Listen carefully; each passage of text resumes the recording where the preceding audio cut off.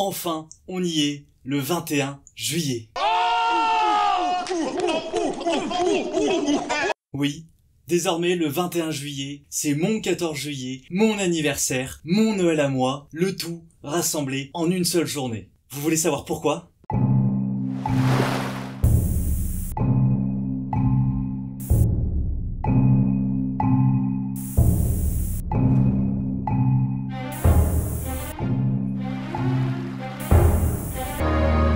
Patience est un plat qui se mange sans sauce.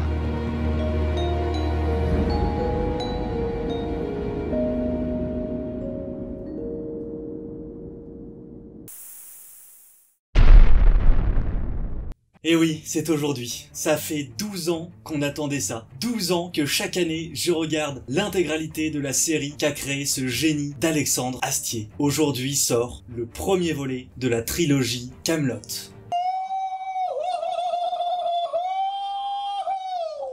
Et pour l'occasion, j'avais très envie de faire une vidéo en lien avec la passion qui anime cette chaîne, l'art oratoire et la rhétorique.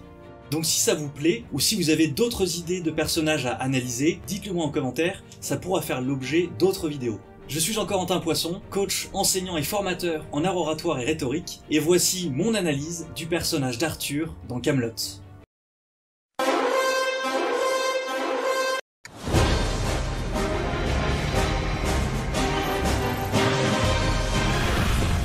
Cher ami orateur, bonjour. Tu l'auras compris, je suis un très grand fan de Camelot et à l'heure où tu regardes cette vidéo, il est fort probable que j'ai déjà vu deux fois le film d'Alexandre Astier. La parole et le dialogue ont une très grande importance dans cette œuvre et donc il est tout naturel de s'intéresser à celle de son personnage principal, Arthur. Une précision toutefois, dans cette vidéo je m'intéresse exclusivement au personnage d'Arthur et non à la globalité de l'œuvre d'Alexandre Astier dans les médias ou dans ses autres réalisations. Mais si le sujet t'intéresse, dis-le moi en commentaire et j'y réfléchirai pour une prochaine publication. Mais avant de rentrer dans les détails, un propos général sur l'éloquence d'Arthur.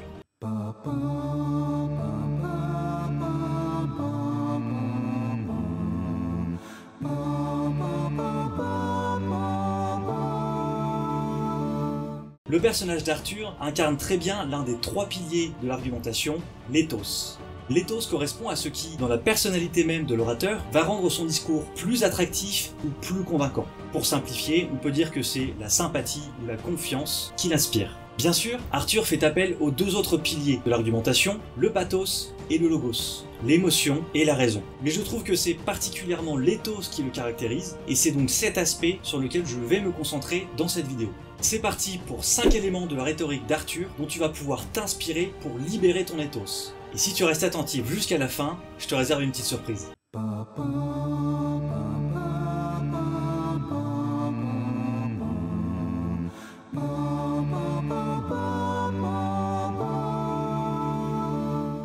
Avant de devenir roi de Bretagne, Arthur a grandi sans rien savoir de ses origines ni de l'avenir qui lui était promis. Est-ce que tu es né sur l'île de Bretagne? Sur l'île de Bretagne? Je sais pas. Il a grandi dans une caserne romaine en tant que soldat de base. Un merdeux de l'urbaine, sans noblesse ni éducation. Cette éducation lui a conféré une humilité qu'il conservera une fois au pouvoir. En effet, Arthur ne règne pas en despote et il reconnaît volontiers qu'il peut faire des erreurs. J'ai raté. Mais je veux pas qu'on dise que j'ai rien foutu. Mais malgré cette humilité, Arthur ne fait pas non plus dans la fausse modestie. Il a conscience de sa position et lorsque ça s'avère nécessaire, il sait imposer son autorité. Et vous m'obligez à utiliser mon autorité suprême. Vous savez que j'aime pas ça. Je vous donne l'ordre de lever vos fesses de là et d'aller vous trouver un autre coin. Voilà. Il connaît aussi ses points forts et il les revendique parfois. Ne me prenez pas trop pour une bleusaille quand même. Un combat réel, je me défends pas trop mal, figurez-vous. Alors que retenir de tout ça? Quand tu prends la parole, fais preuve d'humilité. Les gens n'aiment pas les vantards ni les affabulateurs. Et à faire croire qu'on sait tout, on est très souvent démasqué. Mais pour autant, ne te sous-estime pas non plus. Tu dois prendre conscience de tes points forts, de tes compétences, éventuellement de tes pouvoirs, et les exercer avec sagesse. Alors dans tes prises de parole, ne cherche pas à te vanter, ni à imposer ton point de vue, quoi qu'il en coûte. Apprends à admettre, voire à revendiquer tes erreurs et tes échecs, ils sont autant d'expériences à valoriser. Mais n'hésite pas non plus à t'imposer si c'est à toi que revient la responsabilité d'une décision, ou si tu estimes que tu es plus expert que ton interlocuteur sur le sujet traité, sans pour autant paraître hautain. Tout est une question de mesure entre humilité et affirmation de soi. Faut pas se planter dans les dosages, sinon il y a des effets secondaires. L'humilité à laquelle nous invite Arthur le pousse d'ailleurs à une deuxième qualité.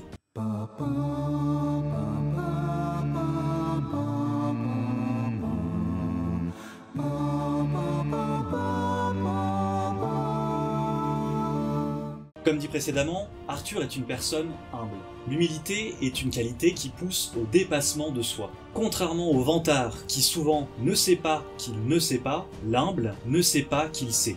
Tempora mori, tempora mundis recorda. C'est le cas par exemple d'Arthur qui a lu tout ce qu'il pouvait sur la stratégie. Quintilien, l'un des auteurs les plus importants en matière de rhétorique, consacre d'ailleurs deux livres de son institution oratoire à l'importance pour l'orateur de se cultiver. C'est ce que fait Arthur, qui étudie avec assiduité les questions militaires, puis suit les cours d'Aconia et continue à développer ses connaissances dans les livres 1 à 4. N'oublie donc jamais pour développer ton éloquence, il est essentiel de te cultiver. La culture te sauvera de situations délicates inattendues. Si tu ne me crois pas, je t'invite à regarder cette vidéo où tu verras le président Georges Pompidou sauvé par une poésie apprise par cœur. Mais la question des acquis ne s'arrête pas là. Si Arthur prend le temps de se cultiver, il prend aussi le temps de réfléchir. Que ce soit dans son bain ou dans la nature, Ça me permet de me recentrer sur les problèmes de l'État. Arthur prend le temps de méditer, de prendre du recul sur ses actions et sur ses décisions à venir. Il est bien sûr important de réfléchir, mais nous parlons ici de rhétorique et il est très important de comprendre l'importance de la réflexion pour la parole. Il est d'abord intéressant d'interroger ses propres idées, de les challenger. Pourquoi je pense ça? Est-ce que des alternatives, des nuances, des idées contraires à l'idée que je propose sont envisageables? Sinon, pourquoi? L'intérêt de ce travail est double. Premièrement, puisque tu vas inviter ton auditoire à te suivre, il faut que tu t'assures de la validité de ton idée. Ensuite, en effectuant ce travail, tu renforceras la qualité de ton argumentaire et tu pourras te préparer à d'éventuelles contradictions. Ce faisant, tu renforceras ton autorité et donc la force de ton ethos. Et si tu peux toi-même t'interroger, il est aussi important d'écouter les autres.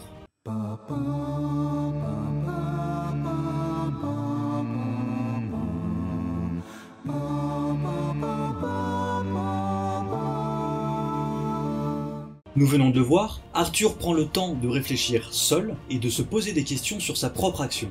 Mais il prend aussi le temps d'écouter des opinions divergentes et les prend en considération. Sur ce point, un duo est particulièrement intéressant. Le youtubeur SciPlay leur a d'ailleurs consacré une vidéo que vous pouvez retrouver ici. Il s'agit du duo Léo Dagan Moi, en général, je réponds merde. En principe, ça colle avec tout.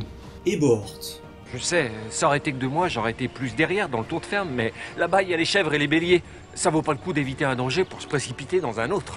Ce duo est très intéressant car il propose une opposition radicale entre la force brutale de Léo Dagan et l'émotion lyrique de Bohort. La recherche de puissance et de guerre de l'un, la volonté de paix de l'autre. Lors des séances de doléances, Arthur s'entoure très souvent de ce duo et il prend soin d'écouter les deux positions. Ainsi, il peut faire la synthèse des antithèses, entendre des visions contraires et se faire sa propre opinion en connaissance de cause. Cette stratégie fonctionne très bien en art oratoire. Savoir écouter des opinions différentes, les analyser et en tirer ton propre point de vue te permettra de te positionner comme arbitre, comme juge des idées. Une position de sage qui renforcera ton ethos car elle inspire la confiance du public. Mais grâce à son écoute, Arthur renforce aussi sa sympathie. En effet, le roi de Bretagne semble être toujours à l'écoute des gens qui l'entourent. Il est souvent dérangé en pleine nuit, C'est ouvrez, on en et même s'il râle, il prend le temps d'écouter et de répondre. Dans tes prises de parole, qu'il s'agisse de discours, de réunions ou autres, il t'arrivera souvent d'être interrompu par des questions ou des interpellations. Ne fais pas la sourde oreille à ces appels. Au contraire, n'hésite pas à demander à la personne de répéter ce qu'elle vient de dire pour être sûr de bien l'entendre et de pouvoir lui répondre. Si tu ne sais pas quoi répondre, tu pourras toujours t'en sortir avec un trait d'humour, Mon oncle, j'ai fait un trait d'humour. Mais l'essentiel est que le reste des personnes se rendent bien compte que même si tu es en train de parler, tu restes à leur écoute. Et tu gagneras donc en sympathie. Mais dans tes réponses et dans ton discours en général, assure-toi d'être bien compris. C'est l'objet de notre quatrième point.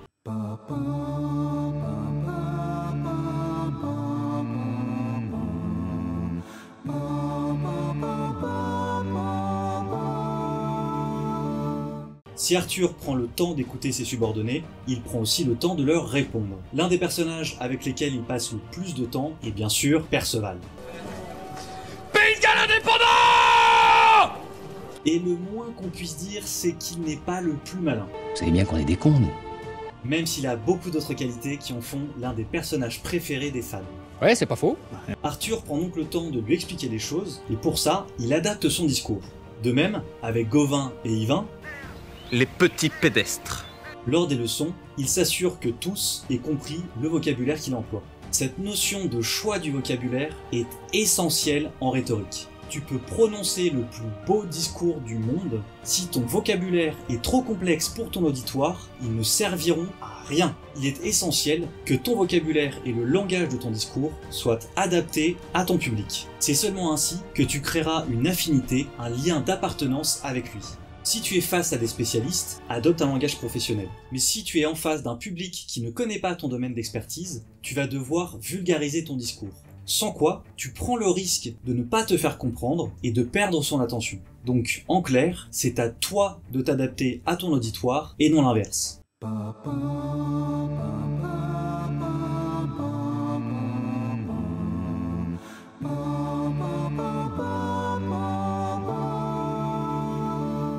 Cette fois-ci, on sort un peu du cadre de l'éthos pour s'intéresser à l'élaboration du discours en lui-même. On le remarque très souvent dans la série, Arthur sait être clair et précis dans son argumentation. La raison à cela est simple, il se fixe un seul objectif par discours. Par exemple, quand il annonce à Mevanui qu'il la quitte, il n'a qu'un seul objectif, revenir à la situation initiale pour la sécurité de son royaume, en blessant le moins possible celle qu'il délaisse. Donc euh, tout d'abord, je vous aime.